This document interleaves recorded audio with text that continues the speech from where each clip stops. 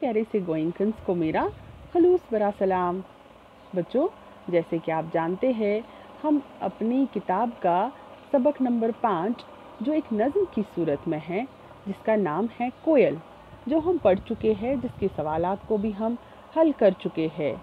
अब कुछ और सवाल है। बच्चों, ये आपका किताबी काम है, ये आप किताब पर ही करेंगे। सवाल नंबर एक है, खाली जगहों को पुर कीजिए। तो बच्चों, मैंने खाली जगहों को पुर कर दिया है तो मैंने जुमले मुकम्मल भी कर लिए हैं। सबसे पहला जुमला था, तेरी खाली जगह काली काली। तो हमने नज़म में पढ़ा था, तेरी रंगत काली काली। तेरी सूरत बोली बाली तो खाली जगह में आप लिखेंगे भाली। तीसरा है, खाली जगह पहले थी, वाली डाली डाली। तो यहाँ पे आप लिखेंगे उड़ने वाली डाली डाली। तो चौथा जुमला है, कोयल तेरी खाली जगह निराली। तो खाली जगह में हम क्या लिखेंगे? कूक निराली, कोयल तेरी कूक निराली। बन में खाली जगह मचाने वाली, खाली जगह में हम लिखेंगे शोर। तो ये जुमला बनेगा बन में शोर मचाने वाली।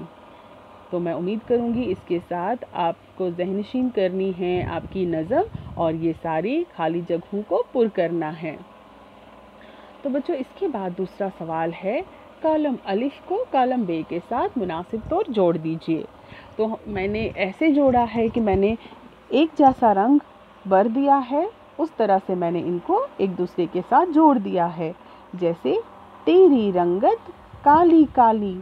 बच्चों ये किताबी काम करने के लिए आपको एक बार अपनी नज़म को अच्छे से याद करना होगा तो आपके लिए ये सारा बहुत आसान हो जाएगा।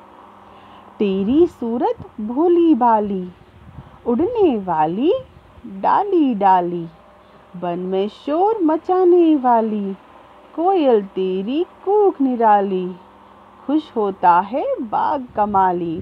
आप देख सकते हैं, इन सब का मैंने रंग एक जैसा भर दिया है ताकि आपको आसानी से दिखे कि कौन सा किसके साथ मिलाना है। इसको कलर स्कीम भी कहते हैं। तो बच्चों, और एक सवाल दिया गया है आपकी किताब पे, जो है, जैल में दिए गए खाके के खानों के हरूफ से दाएँ बाएँ या ऊपर नीचे तीन परिंदों के नाम चुनकर दायरा बंद कीजिए और उनको नीचे लिखिए। एक परिंदे का नाम मिसाल के तौर पर दिया गया है।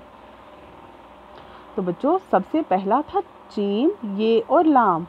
चील, ये पहले ही लिखा गया है आपकी किताब पे। दूसरा जो मैंने परिंदा ढूंढा, वो है तोता। तोई वाव तोई अलिफ।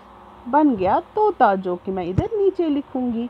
आप भी इसी तरह से इन खानों के नीचे आपके लिए जगह दी गई है, वहाँ पे आपको तीन परिंदों के नाम लिखने हैं। उसके बाद है दूसरा जो मैंने ढूंढा, चीन, डे, छोटी ये, अलिफ, बन गया, चिड़िया। और एक परिंदे का नाम जो है, वो है कीफ, बे, वाव, ते और रे, बन गया कबूतर। तो बच्चों, ये आपका किताबी काम है। इसी तरह से साफ़ साफ़ आप अपनी किताब पर ही करेंगे। उम्मीद है आपको अच्छे से समझ आया होगा। आज के लिए इतना ही। बाकी